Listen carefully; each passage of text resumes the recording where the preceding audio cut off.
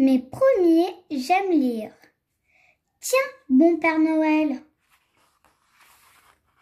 Bientôt Noël. Parmi tous ceux qui veulent se faire passer pour le Père Noël, Léo, le héros de notre histoire, en rencontre un très dangereux. Mais toi, si tu croises un faux Père Noël, ne tire pas sur sa fausse barbe. Il cherche avant tout à amuser les enfants. Les petits mots de Zoé. C'est le moment du dessert.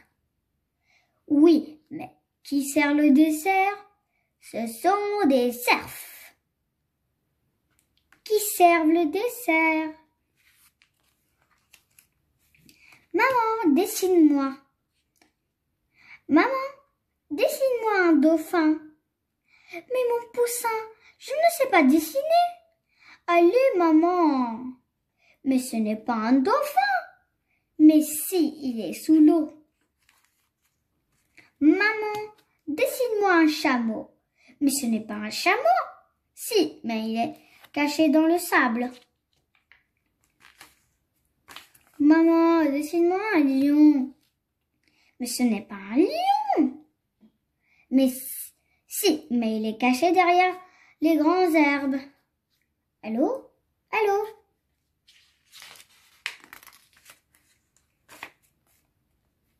Maman, dessine-moi le Père Noël. Mais maman, ce n'est pas le Père Noël. Si, mais il est dans la cheminée. Maman, dessine-moi un câlin. Mon poussin, un câlin ne se dessine, ne se dessine pas. Viens vite dans mes bras. Fin. Anatole l'étui. La pêche de Noël. Tiens, tiens, on dirait que le sapin a été dévalissé. Pas très discret, les cambrioleurs. Plof, plic, zut, raté. Hi Qu'est-ce qu'ils ont encore inventé? J'ai eu la plus grosse. Ouh là là.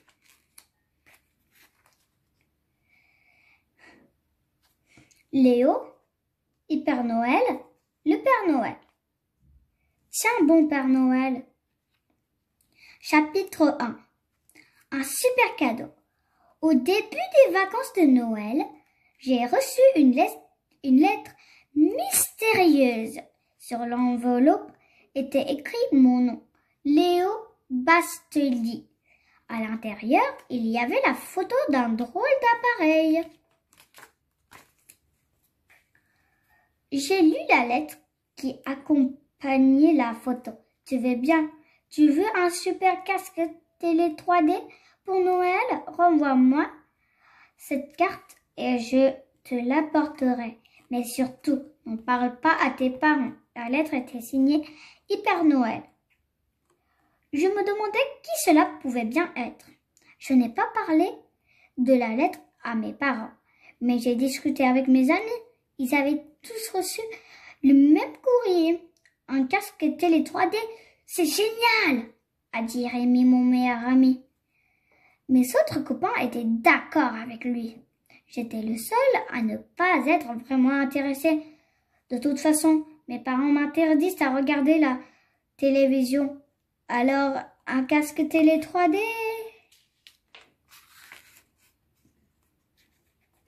Rémi habite dans le même immeuble que moi. La veille de Noël, je suis allée le voir au moment où j'allais frapper à sa porte. Sa mère est sortie de l'appartement. Bonjour Léon. Léo, tu tombes bien, m'a-t-elle dit. Je vais faire quelques courses. Essaie de faire sortir Rémi de sa chambre. Il est collé à son nouveau jeu de depuis ce matin. Je suis allée dans la chambre de Rémi et il, était assis sur, son lit, un casque 3D enfoncé sur la tête. Dessus, il y avait un numéro 2242. J'appelais mon ami Rémi. C'est Léo. J'appelais mon ami. Rémi, c'est Léo.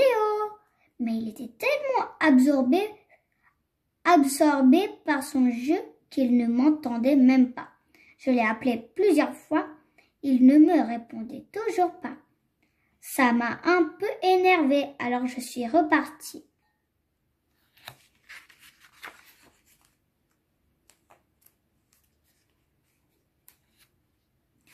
Chapitre 2 Tout hypnotisé. Je suis descendue dans la cour, derrière notre immeuble. Dans une petite rue, une camionnette était garée. Ses portes arrière étaient ouvertes. À l'intérieur des, à l'intérieur, des cartons remplis de casques 3D étaient empliés.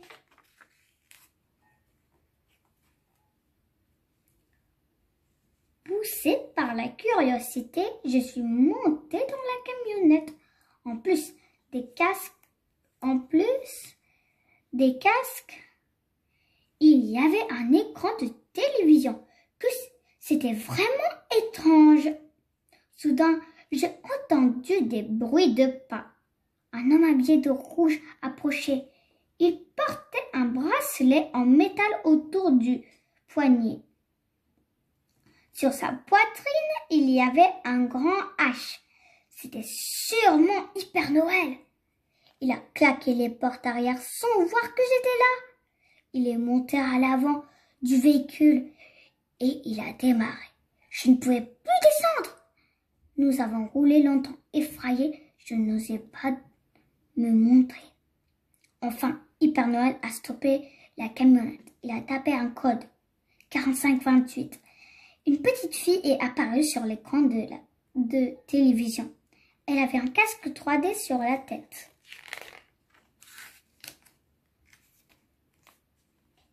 Hyper Noël a parlé dans un micro. Enfant numéro 4528, répète après moi.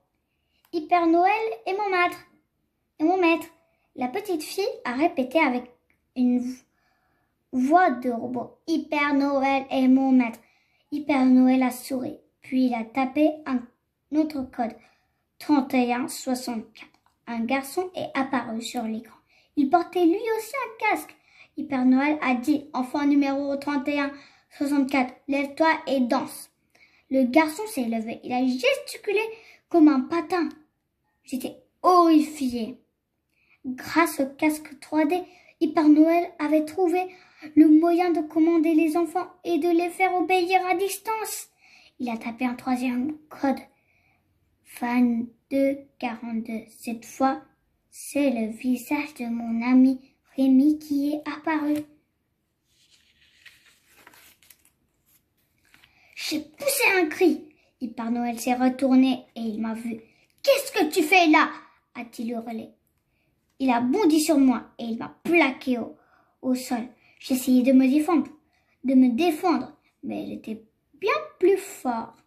À cet instant, une grosse voix s'est fait entendre. Hyper Noël, je t'ai enfin trouvé. Je me suis relevée. J'ai aussitôt reconnu la personne qui se dressait devant moi. C'était le Père Noël. Hyper Noël s'est tourné vers lui. Il a ricané. Tu crois me faire peur? Chapitre 3 Obéis. Hyper Noël a tendu son bras droit et il a appuyé sur son bracelet de métal. Des éclairs ont jailli en rafalait. Le Père Noël a été projeté en arrière. J'ai tenté de m'enfuir, mais Hyper Noël m'a attrapé par le col. Il a saisi un casque sur une pile de cartons. Tu ne m'échapperas pas, a-t-il crié. D'un geste brusque, il a essayé de m'enfoncer le casque sur la tête. Je me suis baissé. Pris dans son élan, Hyper Noël a basculé en avant. Je ne lui ai pas laissé le temps de se relever. J'ai saisi un casque à mon tour, j'ai sauté sur son dos et je lui ai enfoncé sur la tête. Hyper Noël s'est aussitôt figé, hypnotisé par sa propre invention. Je suis vite allé aider Noël à se relever. Il m'a tout expliqué. Hyper Noël déteste les enfants. Chaque année, il essaye de m'empêcher de leur distribuer des cadeaux. Mais cette fois, il a décidé de s'en prendre à eux directement. Heureusement que tu étais là. Le Père Noël s'est tourné vers Hyper Noël. Qu'allons-nous faire de lui? J'ai une idée et je lançais. Sur le casque d'Hyper Noël, il y avait un numéro 11-13. J'ai tapé le code et Hyper Noël est, est apparu sur l'écran. J'ai parlé dans le micro numéro 11-13. Asseyez-vous sur le siège des passagères. Hyper Noël m'a obéi. J'ai continué. Numéro 11-13. Attendez sagement que la police vienne vous chercher. Excellent, a dit le Père Noël en riant. Il a téléphoné lui-même au policier. Puis il m'a dit Tout va rentrer dans l'ordre. Les policiers vont arrêter Hyper Noël de... et libérer tous les enfants qui se sont fait piéger. Il est temps, il est temps que je te ramène chez toi. Je suis montée sur son traîneau et nous, nous sommes envolés. C'était magique.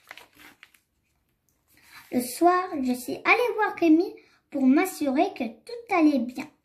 Il avait enfin lâché son casque. Je lui ai raconté toute l'histoire. Rémi était stupéfait. Merci de m'avoir sauvé, sauvé, m'a-t-il dit. Quand je pense que j'aurais pu devenir l'esclave de cet hyper Noël. Puis Rémi a ajouté, et si on jouait, tu seras hyper Noël et moi super Rémi, d'accord? J'ai trouvé que mon ami exagérait un peu. Le héros c'était moi. Mais j'ai accepté, j'étais trop content de pouvoir jouer, avec, jouer à nouveau avec lui. Fin. Émile et Margot, le livre de Noël. Tenez, voici votre cadeau de Noël. Merci le de quoi je, je me mêle. Je vous préviens, il est très original. Original Mais c'est juste un livre. Peut-être, mais c'est un livre vous êtes le héros. Les héros.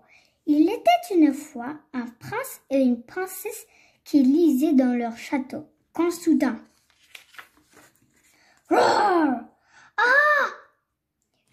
Hé Au secours! Qu'est-ce qu'on peut faire? D'abord, délivrez-moi. Oh, une petite chauve-souris coincée Pour vous récompenser, voici quelques objets qui pourront vous aider. Cette carte indique la repère du dragon. Et cette corde va nous permettre de sortir plus tard. Zut, la grotte se trouve au milieu de l'étang.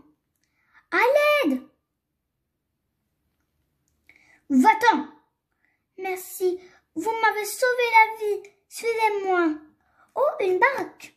Merci la grenouille.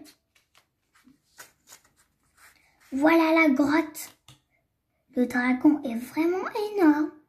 Comment faire pour délivrer notre ami au secours?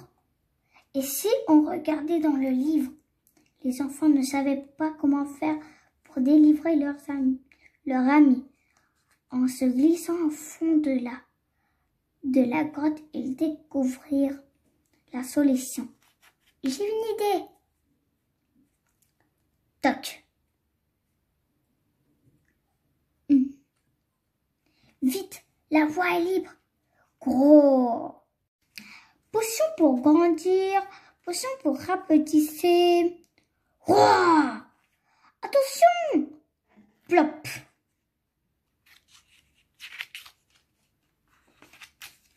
Il est devenu tout rikiki Cru Alors cette, alors cette aventure, qu'est-ce qu'on, qu'on a Qu'est-ce qu'on a eu peur?